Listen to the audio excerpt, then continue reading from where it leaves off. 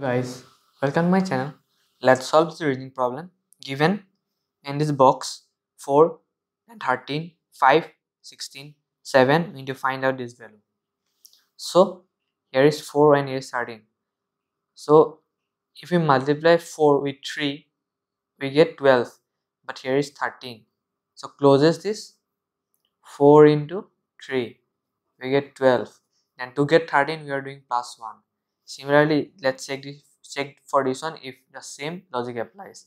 5 into 3 is 15 and if we add 1 we'll get 16 yes then this is the logic. So we'll apply for this one.